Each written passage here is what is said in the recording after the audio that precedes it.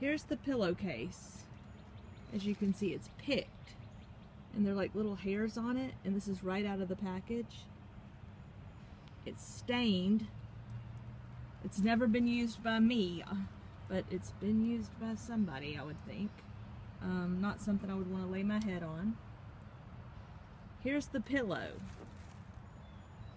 And I don't really think you can call that a contour. That wouldn't support anybody's neck.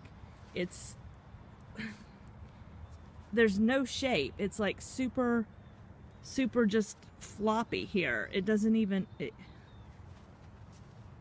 it's I don't know. It's horrible.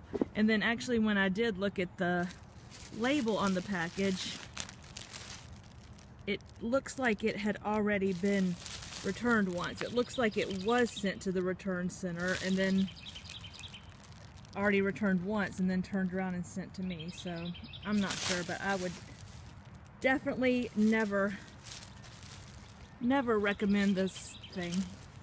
I wouldn't even call it a pillow.